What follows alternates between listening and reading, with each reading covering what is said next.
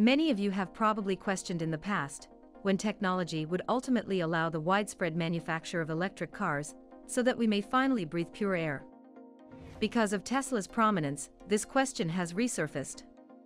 Environmental measures, on the other hand, are required, but a solution must be found that strikes a beneficial balance for both car users and the environment. Hydrogen-powered automobiles, like electric cars, are also environmentally friendly, but let's look at all three types and evaluate them in different ways. Is it better to use combustion, electricity, or hydrogen? How about a little quiz? One of the three always wins. So let's get to the first question. Which has the lowest total cost of ownership? In this case, the answer is probably ambiguous. Some funny inserts will be useful. For example, a drawing of a happy or tired car when the outcome is unclear, e.g. Two racing cars. Which of these three types of vehicles do you believe has the best acceleration? Electric and hydrogen cars have the most acceleration, as they have access to the full engine power since the beginning of May.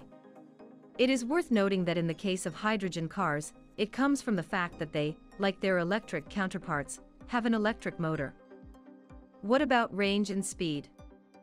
When it comes to speed and range, the combustion engine is considered one of the best. Let us mention that it could be either petrol or gas. It should be noted that gas-powered automobiles have a much shorter range. Cars with different engines are much weaker here, though it is worth noting that they have gotten better and improved performance, reducing these differences, although they are not significant yet. What about operating costs? Electric cars have the most advantageous operating costs, less favorable in hydrogen cars, and the least in combustion ones.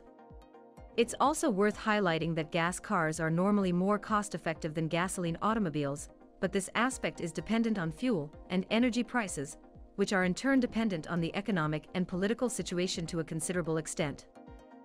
What about durability? Durability at this time, the most durable are internal combustion engines, which have already developed significant standards that allow parts to be adapted for several or even several dozen years. It is also worth noting that classic gas cars cause parts to wear out faster. Hydrogen vehicles that have not yet developed permanent solutions perform worse in this regard. Electric cars are the worst because they lose their purpose as the battery, which accounts for the majority of their costs, depletes. What about availability?